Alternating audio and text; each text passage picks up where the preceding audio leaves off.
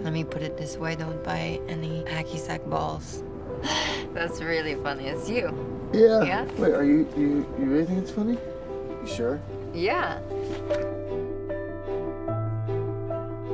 I think when he was getting rid of his dependence on alcohol, he was able to be inspired by something like cartooning. So it's sort of that gave birth to the cartooning. You got a problem, Callahan. He was a jokester. He was a visual comedian. The cartoons were really just coming out of puns. He had a like affection for puns, being Irish. Aren't you glad you made us? John doesn't like us. Well, of course I like you. I just can't get laid with any of you. Have you tried? Well, have you tried? The journey is dark. Maybe you were weakened so you could become strong. That's why it's important when there's time for humor and for levity to seize those opportunities. How about that girl? She was digging you, man. Callahan and Donnie are laughing at things that are so extreme. That was something that I definitely do and was cool that we explored. I just don't think I've ever been happier, more challenged, but also happier being a character for a while. Donnie, even with all he has going on, seemed to be at peace inside. And that was a really awesome thing to get to be for a while.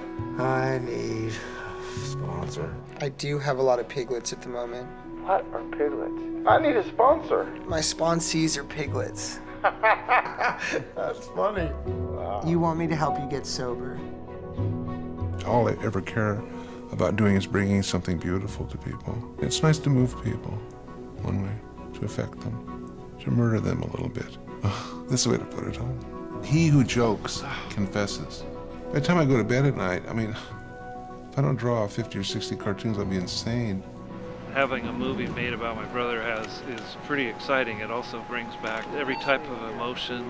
I think it's such a great story because of all he overcame. What did I do to you? What did I do to piss you off so much? Why are you gonna treat me like this? You know, I hear you're putting a lot more mileage on that wheelchair than the average quadriplegic. Yeah, because I'm an active worker.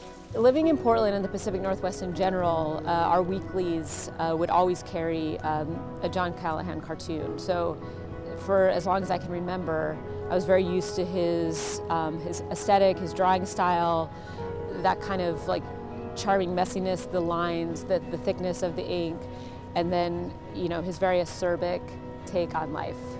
Hey, I loved your Jesus joke, man. Oh, really? Thank God it's Friday.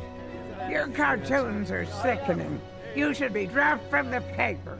She was really mad. Yeah. I like this reaction as the best though. You know, she's really telling it like it is. One aspect of his life was about his own cartoons that sometimes addressed quadriplegia or, or different, different disabilities. He was challenged by very angry letters or hate mail about what he was doing when the, the readers didn't necessarily understand he was a quadriplegic himself.